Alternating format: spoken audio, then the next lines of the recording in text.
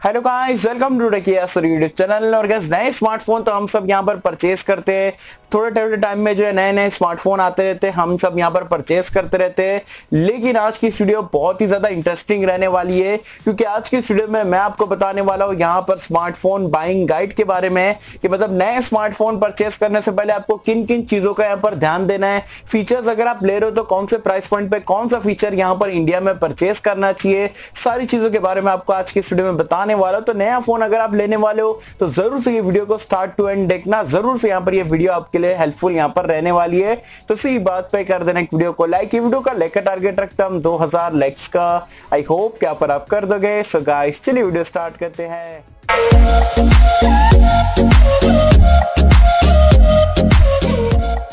So friends video start कर लेते हैं और वीडियो स्टार्ट करने से पहले आपको बता दूँ, कल के दिन हमने एक ज़बरदस्त वीडियो डाले थे और आपको बताया था अपकमिंग स्मार्टफ़ोन जो कि जुलाई 2020 में आपको इंडिया में कौन से देखने को मिलेंगे। सारी चीज़ों के बारे में डिटेल में बताया प्राइस पॉइंट स्पेक्स कौन से स्मार्टफ़ोन आपको देखने को मिलने वाले।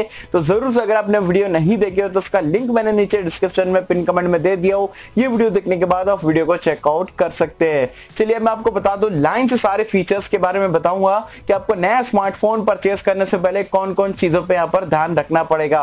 सबसे पहले बात कर लेते हैं हम यहाँ पर डिज़ाइन और बिल्ड क्वालिटी को लेके। तो मैं आपको बता दूँ, जब भी आप अगर नया स्मार्टफ़ोन परचेस करने जाते हो तो अगर दस के नीचे का स्मार्टफ़ोन है तो आप डेफिनेटली जो है पॉलीकार्बोनेट बॉडी मतलब जो प्लास्टिक ग्लॉसी टाइप के बैक पैनल वगैरह आते तो आप उसके साथ में जा सकते हो। लेकिन अगर आप दस हज़ार के ऊपर पे कर रहे हो इंडिया में अभी फ़िलहाल के लिए दस बारह हज़ार की रेंज में या उसके ऊपर अगर आप पे करते हो तो मैं आपको बोलूँगा कि कभी भी आप जो है ग्लास बॉडी के साथ स्मार्टफ़ोन साथ में जाओ, क्योंकि जो ग्लास बॉडी में आपको अलग सा एक इन हैंड फील ज़बरदस्त सा देखने को मिलता है। और अगर आप बारह हज़ार के ऊपर पे कर रहे हो तो मैं नहीं बोलूँगा आपको पॉलीकार्बोनेट के साथ में जाओ। हमेशा जो है ग्लास बॉडी के साथ में आपको जाना चाहिए, क्योंकि आप इतना पे कर रहे हो तो आपको जो प्रीमियमनेस जो है आपके हाथ में जो इन हैंड फील है, वो ज़बरदस्त आपको डेफिनेटली जो है मिलना चाहिए।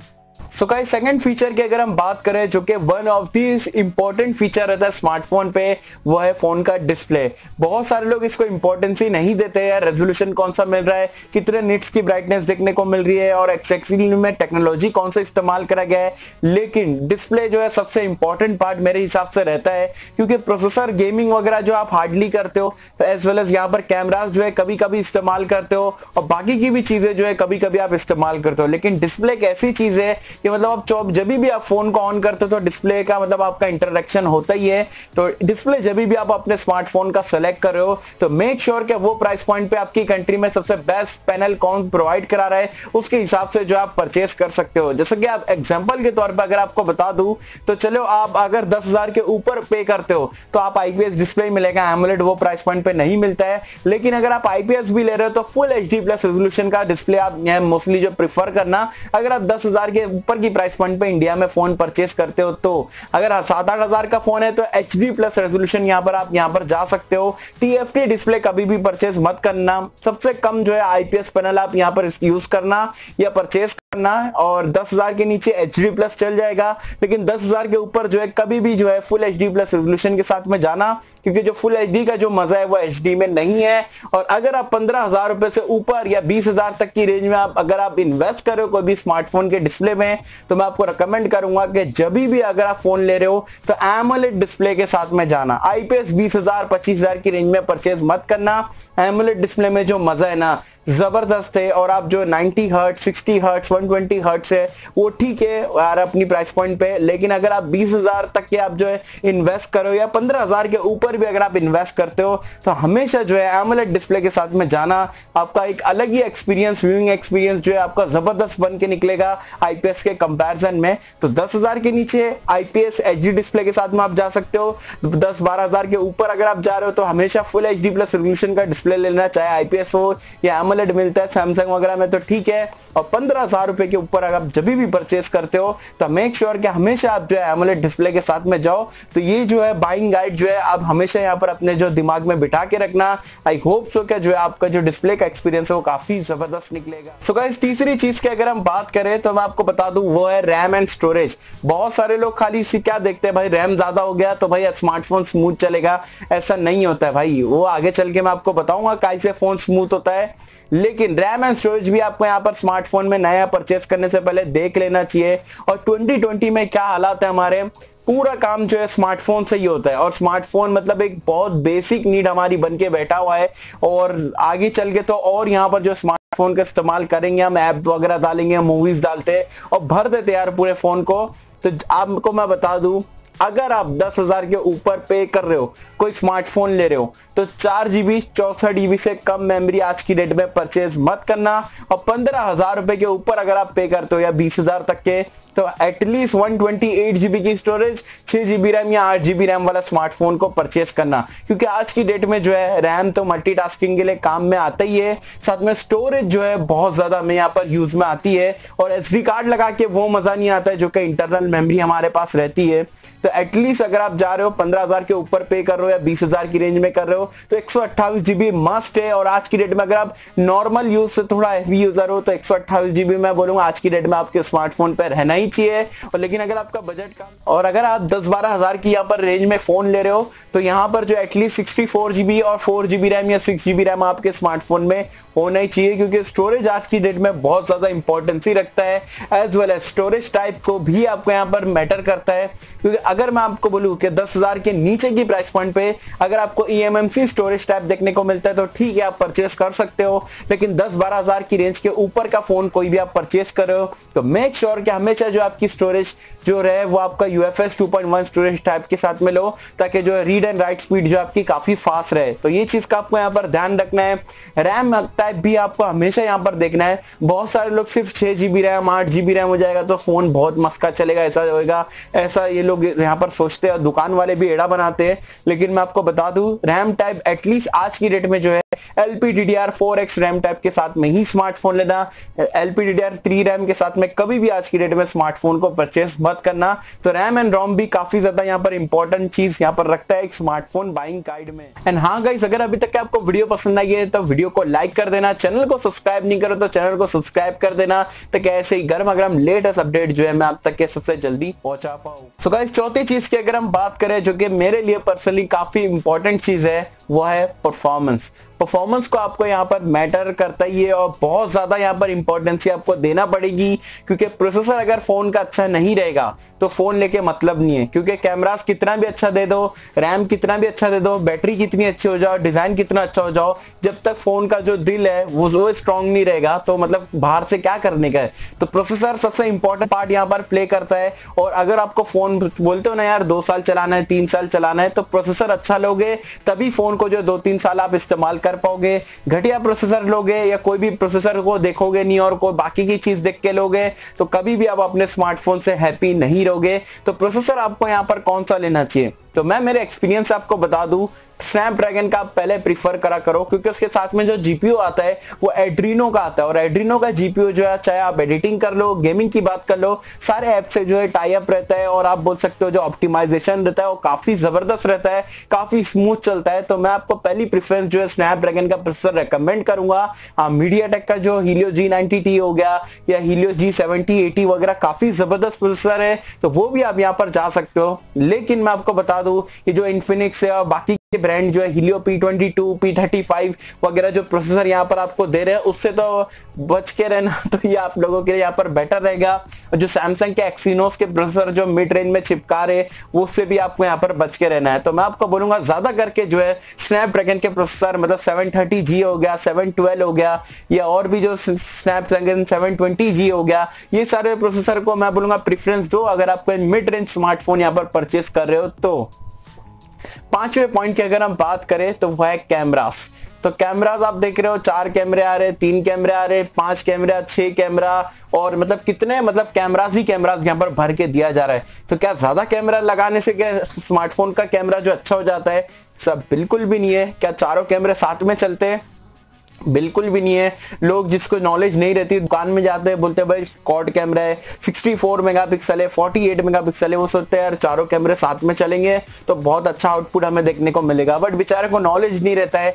बट जिसको नॉलेज है या नहीं है, मैं आपको बता दूँ, चार कैमरा लगा लेने से फ़ोन का कैमरा अच्छा नहीं हो जाता है। सबसे पहले जो आपको प्रिफरेंस देना है, वो आपको मेन सेंसर पे देना है कि मेन सेंसर स्मार्टफ़ोन का कौन सा है? जो भले ही फोर्टी एट मेगा पिक्सल जो भी हो, लेकिन आपको देखना है और सोनी का सेंसर अगर आपका रहता है एम एक्स हो गया सिक्स हो गया वगैरह तो उसको पहली प्रेफरेंस दो। उसके बाद में जो सैमसंग का जी डब्ल्यू वन हो गया जी एम वन हो गया, वो सारे भी ठीक है, उसके हिसाब से आप देख सकते हो। और कभी भी अगर आप स्मार्टफ़ोन का जो कैमराज है, आप खड़े खड़े वहाँ दुकान में देखोगे तो आपको अच्छा ही दिखेगा, क्योंकि लाइटिंग वगैरह बहुत ज़्यादा रहता है और कलरफुल दुकान रहती है तो काफ़ी अच्छा आपको देखने को मिलता है। कभी भी अगर आप स्मार्टफ़ोन परचेस करने जा रहे हो, उसका कैमरा देखना है तो उससे पहले आप यूट्यूब पे 10 वीडियो देख लो, क्योंकि आप इन्वेस्ट कर रहे हो कुछ चीज़ तो उससे पहले 10 वीडियो देख लोगे तो कुछ चले नहीं जाएगा। तो आप 10 वीडियो देख लो कैमरा कंपैरिजन देख लो कैमरा रिव्यू देख लो, उसके बाद में आपको एक्जैक्टली में पता चल जाएगा कौन से मॉडल का कौन सा कैमरा है। लेकिन प्राइमरी सेंसर जो है मेन सेंसर जो उसके बारे में तो आपको यहाँ पर देखना ही पड़ेगा, क्योंकि बहुत सारे ब्रांड जो है, आपको सेंसर के बारे में बताते ही नहीं है। तो सेंसर मेन सेंसर जो आपको देखना पड़ेगा। अब बहुत सारे लोग जो है व्लॉगिंग करते हैं यूट्यूब पे वीडियोस वगैरह शूट करते हैं तो उनको सेल्फी कैमरा भी यहाँ पर दिखना पड़ता है। अब सेल्फी कैमरा 32 मेगापिक्सल में भी बहुत सारी क्वालिटीज आती है तो वो भी अगर आप एक बार, अगर आपके लोकल शॉप से अगर आप फ़ोन ले रहे हो, या मतलब आपका एम की गैलरी या जो भी वगैरह आपके जो स्टोर वगैरह है तो वहाँ पर जाके पर्सनली जाके अगर आप चेक करोगे तो आपको सेल्फी कैमरे का ज़्यादा आइडिया आएगा एज कंपेयर टू सिर्फ़ मेगा देखने से। तो जब भी अगर आप स्मार्टफ़ोन का कैमरा देख रहे हो तो मेन सेंसर सबसे पहले देखना और सेल्फी कैमरा एक बार उसको चेकआउट कर लेना, उसके बाद में जैसा आपको चाहिए, वैसा आप जो कैमरे को सिलेक्ट कर सकते हैं। गाइस सिक्स पॉइंट की अगर हम बात करें तो वह है एंड्रॉइड वर्जन और यूआई एंड्रॉइड वर्जन से मेरा मतलब ये है कि जब भी अभी आज की डेट में अगर आप फ़ोन लेते हो तो एंड्रॉइड 10 से नीचे के एंड्रॉइड वर्जन पे नहीं लेना और एंड्रॉइड 10 ही वैसे वैसे आ रहा है। और यूआई की अगर हम बात करें तो ऑक्सीजन ओस हो गया मी यूआई हो गया और आपका फंटच ओएस हो गया कलर ओएस हो गया और बहुत सारे यूआई आपको देखने को मिलते हैं। तो यूआई आपकी पर्सनल चॉइस रह सकती है। बहुत सारे ऐसे लोग रहते हैं भाई जिसको एकदम क्लीन इंटरफेस चाहिए स्टॉक एंड्रॉइड चाहिए तो वो ऑक्सीजन ओएस के साथ में जा सकता है, या स्टॉक एंड्रॉइड मोटरोला वगैरह के साथ में जा सकता है। लेकिन बहुत सारे लोग ऐसे रहते हैं कि कस्टमाइजेशन पसंद है। मैं मेरी बात करूँ तो मुझे कस्टमाइजेशन अच्छा लगता है मी यूआई का अच्छा लगता है फन टच ओएस का अच्छा लगता है थीम्स वगैरह डाल सकते हैं और आइकॉन वगैरह चेंज कर सकते हो मतलब ऊपर नीचे सब सारी चीज़ें कर सकते हैं। तो मुझे ये सारे यूआई ज़्यादा पसंद आते हैं। तो जब भी आपके जो पर्सनल टेस्ट है, उसके हिसाब से आप जो सिलेक्ट कर लेना। दूसरे की बातों में मत आना कि भाई उसमें ये है, वो है, आप अपना यूज़ करना। उसके बाद में आइडिया लगाना कि भाई आपके लिए स्टॉक एंड्रॉइड अच्छा है या कस्टमाइज जो यू आता है, वो आपके लिए यहाँ पर अच्छा है। time सातवें पॉइंट की अगर हम बात करें तो यहाँ पर है सेंसर्स को लेके। जब भी आप स्मार्टफ़ोन परचेस करो तो उससे पहले आपको यहाँ पर एक चीज़ देखना पड़ेगा कि भाई सेंसर ये फ़ोन में सब है या नहीं है। बहुत सारे मिड रेंज और बजट सेगमेंट के स्मार्टफ़ोन में जो जारो सेंसर नहीं रहता है तो वो आपका यहाँ पर काम है, आपको यूट्यूब पे और बाकी की जगह पे सर्च करना पड़ेगा कि आपका सेंसर है या नहीं है। जायरो सेंसर बहुत ज़्यादा यूजफुल रहता है। चाहे गेमिंग की बात करो या और भी चीज़ों में काम आता है तो सेंसर्स यहाँ पर आज की डेट में सारे आपको यहाँ पर रहना ही पड़ेगा। और फिंगरप्रिंट स्कैनर आपको कौन सा लेना चाहिए? तो देखो एमोलेट डिस्प्ले तो मैं बोलूँगा इन डिस्प्ले फिंगरप्रिंट स्कैनर वगैरह यहाँ पर मस्ट है। साथ में साइड माउंटेड लो बैक लो, आपकी पसंद है वो, जैसे स्पीड अगर आपको देखना है तो वो देखो अदरवाइज़ साइड में लो या पीछे लो, वो आपकी मर्ज़ी है। साथ में फेस अनलॉक की स्पीड भी एक बार चेक कर लेना। यू यूट्यूब पे वीडियोस वगैरह यार पहले ही आ जाती है सेल से पहले तो वहाँ पर आप जो चेकआउट कर सकते हो। जो ऑनेस्ट वीडियो बनाता है, मैं उसकी बात कर रहा हूँ। नेक्स्ट पॉइंट की अगर हम बात करें तो वो है बैटरी लाइफ ये बहुत सारे लोगों को यहाँ पर इंपॉर्टेंट चीज़ है और मेरे लिए भी यहाँ पर पर्सनली काफ़ी इंपॉर्टेंट चीज़ है। लेकिन इसमें मैं आपको एक बहुत ही यूजफुल ट्रिक देने वाला हूँ या टिप देने वाला आप बोल सकते हो बैटरी लाइफ हम देखते हैं 6000 हज़ार की बैटरी है, चलो ले लो और मतलब बहुत सारी चीज़ें हो जाएगी। लेकिन आज की डेट में ऐसा नहीं है 6000 हज़ार की बैटरी मान लेते हैं, बहुत अच्छी रहती है, लेकिन उसके साथ में आपको कौन से वॉट का चार्जर मिल रहा है, वो सबसे इंपॉर्टेंट चीज़ है।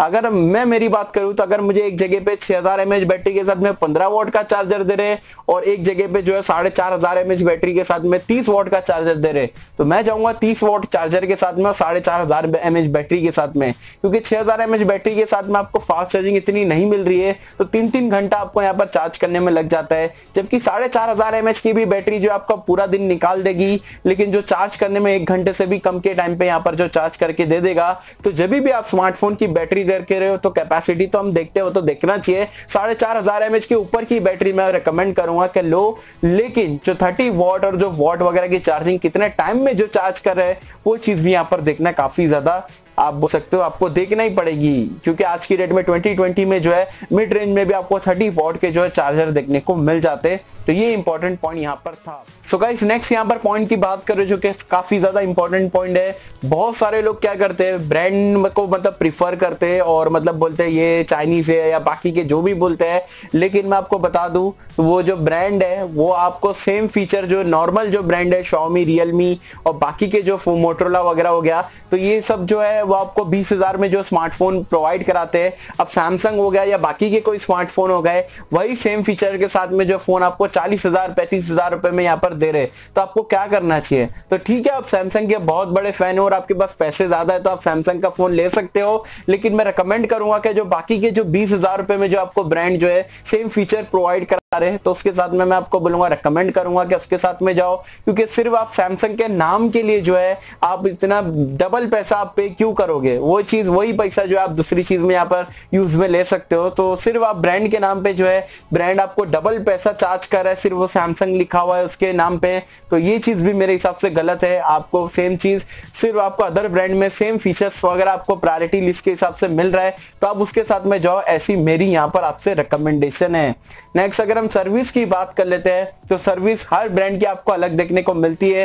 पहले बहुत ज़्यादा डिफरेंस रहता था। सैमसंग हो गया माइक्रोमैक्स लावा वगैरह से लेकिन अब यहाँ पर आपको ओप्पो भी बहुत बढ़िया सर्विस देता है सैमसंग सर्विस देता है वीवो की बहुत बढ़िया सर्विस है एम वगैरह की भी अभी ठीक ठाक सर्विस हो चुकी है। तो सर्विस को लेकर भी आपको इतनी दिक्कतों का सामना नहीं करना पड़ता है।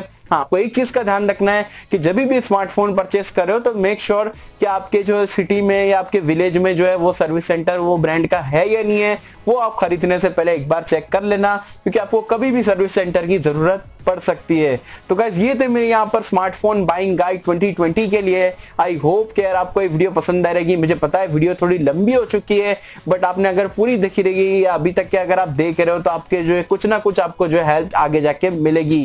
तो गैस ये थी मेरी वीडियो बाकी यहाँ मुझे कमेंट सेक्शन में बताना, आप स्मार्टफ़ोन परचेज करने से पहले क्या कुछ चीज़ों का ध्यान रखते हो, और आप यहाँ पर कौन से ब्रांड को यहाँ पर प्रिफर करते हो, मुझे बताना नीचे कमेंट्स में। होप कमेंट्स आपको पसंद आई होगी, और कैसे अगर आपको पसंद आए तो लाइक करें शेयर करें चैनल को सब्सक्राइब कर देना। मिलता है आपसे अगले किसी वीडियो में, जब तक के लिए